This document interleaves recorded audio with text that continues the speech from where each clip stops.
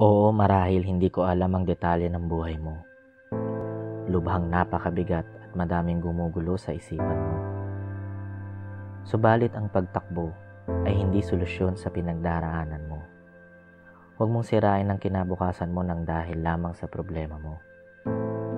Harapin mo at huwag talikuran. Ang buhay ay huwag bitawan.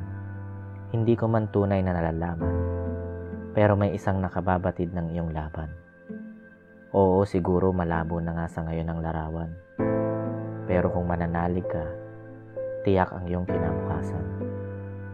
Sinabi mo sa akin na sinubukan mong harapin. Pinilit at pinaghirapan mo, pero naglaho na parang hangin. Ang mapapayo ko sa iyo ay muli mo sanang subukan. At sa pagkakataon ngayon, magsama ka na ng kaibigan.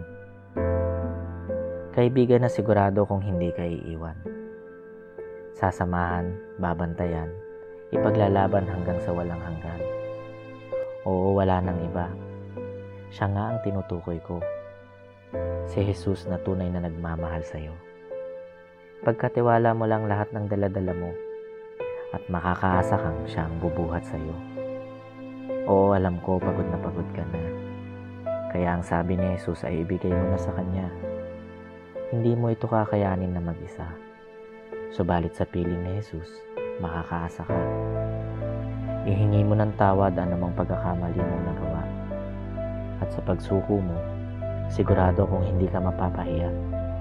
Yayakapin ka niya at iduduyan sa kanyang kanlungan.